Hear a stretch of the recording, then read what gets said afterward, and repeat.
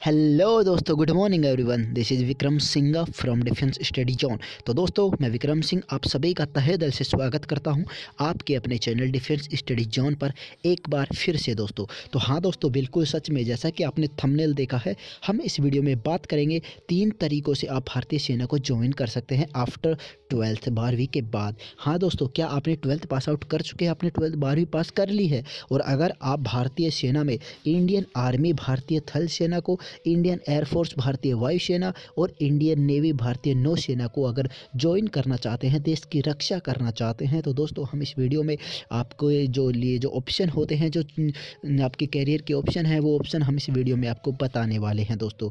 तो दोस्तों, अगर आपका भी सपना है, आपका ड्रीम है कि हम भारतीय सेना ज्वाइन करके देश की रक्षा करें तो दोस्तों आपका वो सपना ज़रूर पूरा होगा। उसके लिए मेहनत करते रहिए और हम आपके उसी सपने को पूरा करने के लिए ये छोटी सी मेहनत कर रहे हैं कि आपको पता लग सके कि आपके लिए कौन कौन से मौके हैं देश की रक्षा करने के लिए दोस्तों।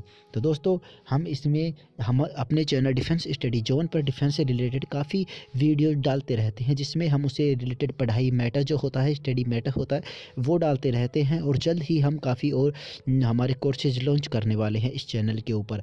तो दोस्तों, वीडियो को लाइक कर दीजिएगा और चैनल को सब्सक्राइब भी कर लीजिएगा। चलिए हम इस वीडियो में बात करेंगे दोस्तों, जो हमारे तीन तरीके हैं भारतीय सेना को ज्वाइन करने के आफ्टर ट्वेल्थ आपने बारहवीं पास कर ली है तो आप किन किन तरीक़ों से भारतीय सेना को ज्वाइन कर सकते हैं?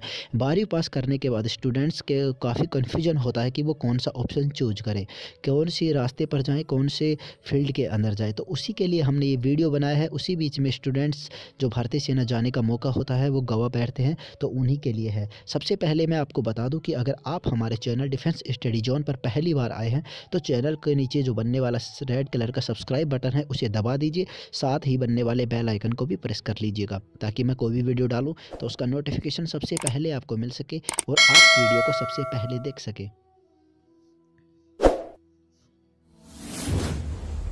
Defense Study Zone YouTube channel for NDA, Air Force and Navy.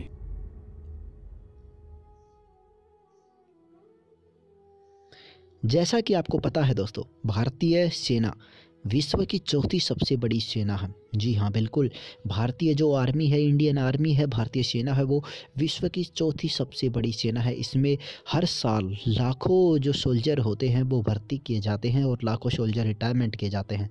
भारतीय सेना आपको काफ़ी फैसिलिटीज़ देती है, जैसे आपको गुड सैलरी देती है, आपकी जॉब सिक्योरिटी देती है, आपको रिटायरमेंट के टाइम पेंशन देती है, ऐसी काफ़ी अच्छी अच्छी फैसिलिटीज़ भारतीय सेना आपको मुफ़्त में देती है दोस्तों। तो भारतीय सेना को ज्वाइन करने का बहुत ही लोगों का, बहुत ही दोस्तों का सपना सपना होता है, वो सपना पूरा करने के लिए हम इस वीडियो में बताएँगे आपको कि बारहवीं के बाद में आप कैसे भारतीय सेना को ज्वाइन कर सकते हैं। तो दोस्तों, बने रहिए हमारे साथ वीडियो को अंत तक ज़रूर देखिए चलिए शुरुआत करते हैं। सो गाइज़ लेट्स स्टार्ट हमारा पहला तरीका है दोस्तों NDA NDA national defence academy राष्ट्रीय रक्षा अकादमी के थ्रू आप बारहवीं पास हैं तो आप बारहवीं पास के बाद में भारतीय वायुसेना इंडियन नेवी भारतीय नौसेना एंड इंडियन आर्मी भारतीय थल सेना में एज ए ऑफिसर एक ऑफिसर की पोस्ट पर ज्वाइन कर सकते हैं भारतीय सेना को दोस्तों, अगर आपने ट्वेल्थ पास आउट कर ली है या आप ट्वेल्थ अपेयरिंग है तो भी एनडीए की एग्ज़ाम आप दे सकते हैं। इसकी जो सिलेक्शन प्रोसीजर होता है दोस्तों, वो उसमें आपको सबसे पहले रिटर्न टेस्ट देना होता है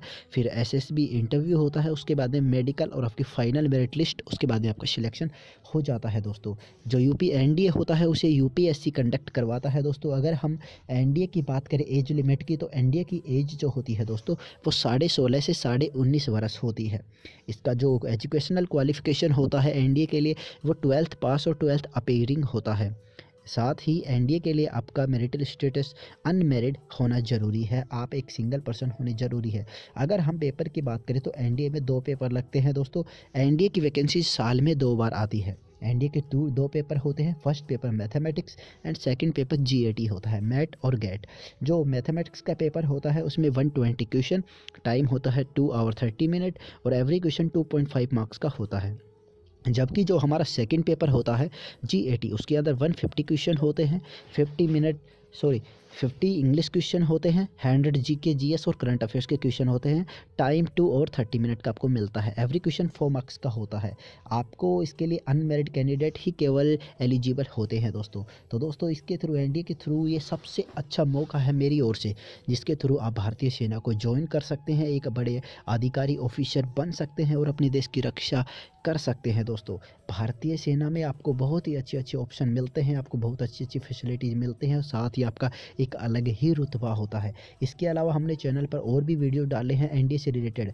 दूसरा हमारा ऑप्शन है दोस्तों T E S entry technical entry scheme okay दोस्तों technical entry scheme T E S अगर आप टेक्निकल एंट्री जो स्कीम है दोस्तों, इसके बारे में अगर हम बात करें तो दोस्तों, इसकी जो एज लिमिट होती है वो होती है साढ़े सोलह वर्ष से साढ़े उन्नीस साल।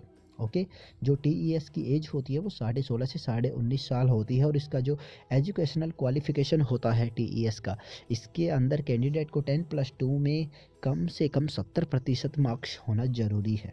ओके सत्तर प्रतिशत मार्क्स आपका पी सी एम में होना ज़रूरी है। ये केवल साइंस के स्टूडेंट्स के लिए ही है ये ऑप्शन ध्यान रखिएगा। एन डी ए में हर कोई एलिजिबल होता है। कोई भी बंदा उसके लिए फॉर्म अप्लाई कर सकता है, चाहे आर्ट्स साइंस कॉमर्स कोई भी हो बट टी ई एस में केवल साइंस का बंदा ही एलिजिबल होता है वही फॉर्म फिलअप कर पाता है। उसके अंदर सेवेंटी परसेंट कम से कम होना ज़रूरी है। इसकी जो सिलेक्शन प्रोसीजर होती है, वो भी सेम ही होती है। आपका रिटर्न नहीं लगता डायरेक्ट होता है। एस एस भी इंटरव्यू होता है। थर्ड हमारा ऑप्शन है दोस्तों S E S soldier entry scheme ये सोल्जर एंट्री स्कीम जो होती है दोस्तों, इसके बारे में आपको जो इंडियन आर्मी की ऑफिशियल वेबसाइट है, उस पर तथा आपके जो लोकल न्यूज़पेपर होते हैं, वहाँ से इसकी जानकारी मिल जाएगी। इसके बारे में शायद आप जानते भी होंगे। ये रैली जो होती हैं दोस्तों, हर डिस्ट्रिक्ट की अलग अलग रैलीज होती है। इसमें हमारी पोस्ट सबसे पहली पोस्ट आती है सोल्जर जनरल ड्यूटी जिसकी एज होती है साढ़े उन्नीस से इक्कीस साल दोस्तों, तथा जो योग्यता होती है वो दसवीं पास होती है। इसके अलावा हमारी जो और इसके अंदर वैकेंसीज होती है, जो पोस्ट होती हैं, वो है soldier soldier clerk soldier tech soldier tradesman soldier nursing assistant ये हमारी अदर पोस्ट होती हैं। इन सभी पोस्ट के अंदर जो एज का जो होता है, उम्र होती है वो साढ़े सत्रह से तेईस साल होती है दोस्तों। हाँ सभी में साढ़े सत्रह से तेईस साल होती है। तथा सोल्जर के लिए आपके पास फोर्टी परसेंट मार्क्स मैथ और इंग्लिश में होना ज़रूरी है। सोल्जर टेक के लिए forty percent P C M soldier tradesman के लिए एट्थ और टेंथ आई टी आई तथा नर्सिंग असिस्टेंट के लिए forty percent marks in P C P C B में होना आपके लिए बहुत ज़रूरी है। इसके बाद में इसका सबसे पहले जो सोल्जर के लिए होता है, वो उसका फ़िज़िकल होता है। फिर उसका मेडिकल और फिर उसका रेटेड टेस्ट होता है। ये इसका सिलेक्शन प्रोसीजर होता है। तो दोस्तों, इस वीडियो के अंदर हमने आपको तीन तरीके बताए हैं जिनसे आप भारतीय सेना को ज्वाइन कर सकते हैं। अलग अलग है एनडीए है टीईएस है और आपका एसईएस है सोल्जर एंट्री स्कीम है। अगर आपको नहीं पता था तो आप इनके मौका उठा सकते हैं, फ़ायदा उठा सकते हैं, भारतीय सेना को ज्वाइन कर सकते हैं, अपने ड्रीम को पूरा कर सकते हैं। तो दोस्तों, अगर आपको वीडियो वास्तव में अच्छा लगा हो रियली आपको कुछ हेल्प मिली हो तो वीडियो को लाइक कर दीजिएगा। कुछ भी क्वेश्चन हो आपका तो नीचे कमेंट बॉक्स में ऐड कर दीजिएगा। वीडियो को अपने दोस्तों में ज़रूर शेयर करें। अपने फेसबुक जो सोशल अकाउंट है, आपके सोशल जो भी फेसबुक इंस्टाग्राम ट्विटर हर ट्विटर हर जगह इसको शेयर करें। चैनल को सब्सक्राइब करना बिल्कुल भी मत भूलिएगा। साथ ही बनने वाले बेल आइकन को भी प्रेस करें। आपके लिए एक और साथ ही खुशखबरी बता देता हूँ कि हम स्पेशली एनडीए एयरफोर्स नेवी के लिए जल्द ही एक जनवरी 2020 से मैथमेटिक्स का नया कोर्स लॉन्च करने वाले हैं। सो कोर्स का जब फ़ायदा ज़रूर उठाएँ अपने दोस्तों को इसके बारे में ज़रूर बताएँ। Thank you so much love you guys video को लाइक शेयर ज़रूर कर दीजिएगा। Thank you